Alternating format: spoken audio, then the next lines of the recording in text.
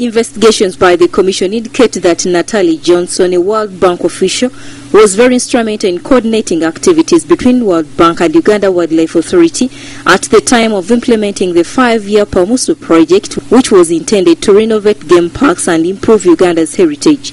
However, activities designed to achieve this were never implemented, although funds were being withdrawn by Natalia and other OO officials in addition to reports compiled indicating the smooth running of the project. The World Bank, which lent us the money, and whose officers were also part of the, shall we say, consultants and supervisors of the project, has requested that they want to meet us.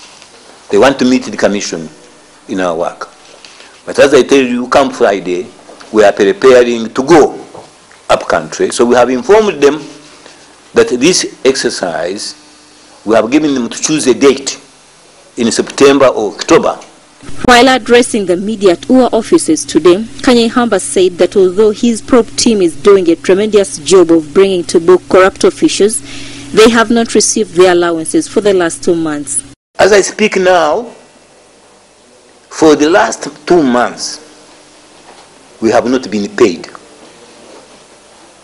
for June and July.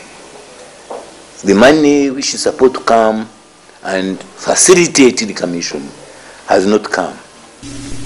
Meanwhile, the Commission has requested for an extension of three more months given the fact that the term of the Commission expired last month, but investigations had not been concluded due to delays caused majorly by witnesses. We have heard that they want us to finish by the end of this month, which of course is very ridiculous. There is no way, even if we are empowered by divine majesty, we can finish our work at the end of this month.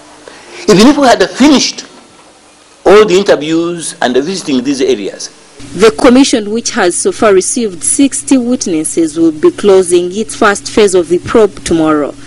It is then expected to resume with a fact-finding mission in the 22 areas where the PAMSU project was meant to be implemented to justify whether there was value for money. These include 10 national parks and 12 game reserves. For NBS News, I am Grace Navidika.